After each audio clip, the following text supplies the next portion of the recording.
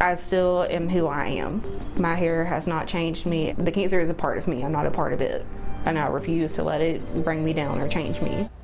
Farrah Smith has learned a lot about herself since July. That's when the Gainesville newlywed was diagnosed with breast cancer at the age of 25. Now, instead of slowing her down, though, the experience has made Smith more determined than ever to live her life to the fullest. Fox Medical Team's Beth Galvin is here now with her story. And Sine and Tom, you know, Farrah, as you said, is really young, but she's had to grow up quickly over the last few months, facing a disease that many women don't experience until they're decades older than she is.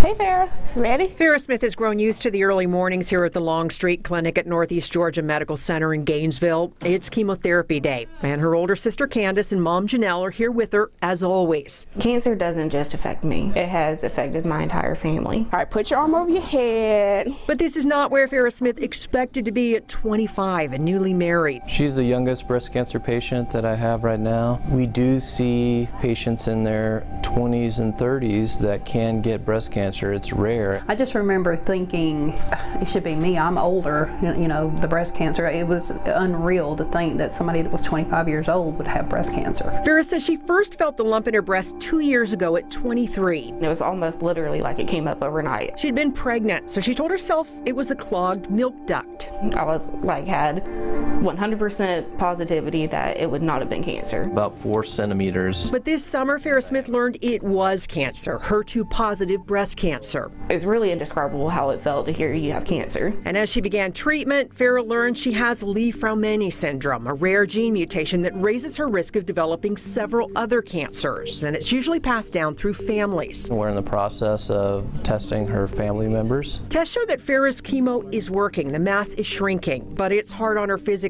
After the last round, she couldn't eat for six days. And almost as difficult was watching her long hair fall out. I cried. I did cry. I definitely cried. Still, Farrah says having cancer at 25 has taught her a lot about herself. I still am who I am. My hair has not changed me. The cancer is a part of me. I'm not a part of it and I refuse to let it bring me down or change me. I've watched her. She's been so brave and so just positive. I mean, she's my hero. And in the end, Farrah Smith says she feels lucky. In two years, her cancer has not spread beyond her nearby lymph nodes, and her doctor says her prognosis is excellent. So she's hoping that sharing her story will inspire other people to be advocates for their own health. You know yourself better than anybody else. Do not hesitate to get yourself checked out for any reason.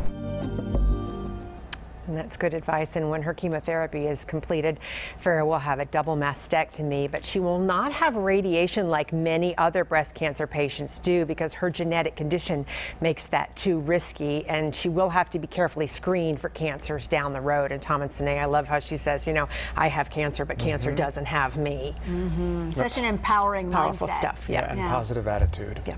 Which isn't easy. Beth, thanks.